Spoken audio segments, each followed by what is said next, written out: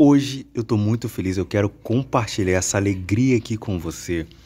Eu me chamo Isaac do canal Horta em Apartamento. É a segunda vez que eu estou trazendo essa relíquia, comprei ontem e quero compartilhar com você essa maravilha.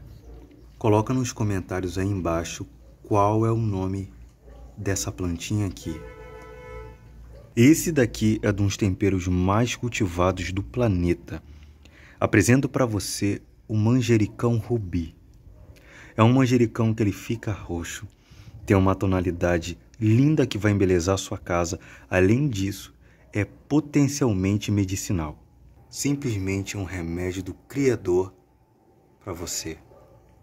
Em primeiro lugar, anota aí porque o nosso vídeo é completo. Para você conseguir colocar isso aqui na sua casa, eu te recomendo você comprar muda que vende em supermercados, setor de jardinagem, floricultura, garden, várias lojas vende. Tu procura manjericão roxo ou manjericão rubi. Você pode plantar num garrafão, igual eu aqui, garrafão de 10 litros, ou até mesmo um vaso normal. Solzinho da manhã, coloca ele na varanda do seu apartamento, aonde bata sol da manhã. Você vai regar duas vezes por dia e ele vai crescer muito. Vai ficar uma maravilha. Coloque hoje essa planta aqui na sua casa. O momento mais especial é agora. Quais são os benefícios que essa planta traz para você? Essa plantinha aqui tem muitos benefícios, mas eu separei o principal para você. Ela alivia a tosse, ela como ela tem uma grande quantidade de vitamina, fortalece o teu sistema imunológico, combate o estresse, melhora a tua visão, melhora a saúde da tua pele, melhora a saúde bucal. Isso aqui é uma benção. Ela consegue também tratar problemas estomacais, como refluxo, gastrite, ajuda a eliminar pedra dos rins.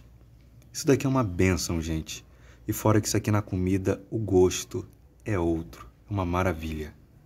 Aquela grande pergunta, Isaac, como é que a gente toma? Como é que a gente come? Você pode botar isso aqui na salada ou pode fazer o chá. Quatro folhas, 200 ml de água fervendo, faça indução e beba.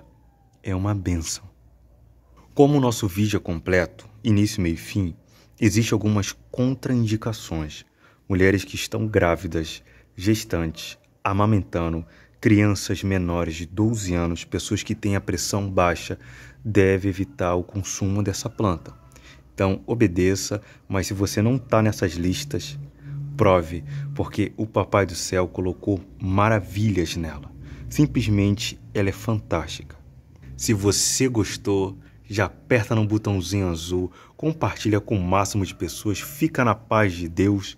Até o próximo vídeo, grande abraço.